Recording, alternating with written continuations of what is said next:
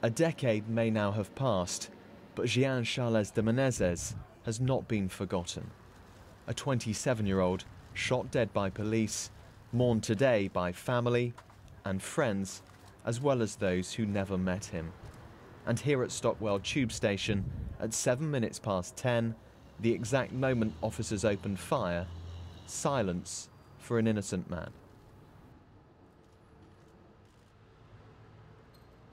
This is a really emotional, really difficult day for me, uh, for my family, and uh, but it's also a special day because we're here to remember him.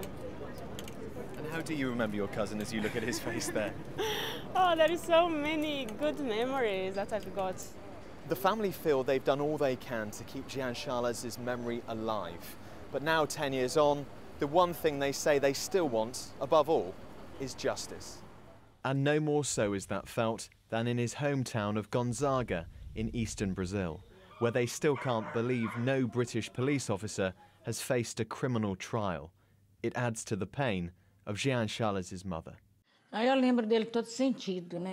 I remember him in every way. I remember him growing up, at school, smiling at me, saying he was okay. I will never forget my son since the day he was born until I saw him being buried.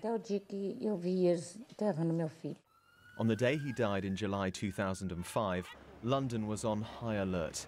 A fortnight after 7 7, a day after more failed attacks, and armed police mistook Jean Charles for one of the would be bombers. They followed him onto a tube train and shot him seven times in the head. As I understand the situation, the man was challenged and refused to obey police instructions. But soon the police conceded he was an innocent electrician on his way to work. Ten years on, European judges are now considering whether individual officers should be prosecuted. Imagine you live a normal life, doing nothing wrong, and all of a sudden you're shot in the head by someone who should be there to protect you. The British police are considered to be the best in the world. I think they deserve a very strong punishment. A day of painful memories, but the Menezes' fight goes on. Nick Beake, BBC London News. Stockwell.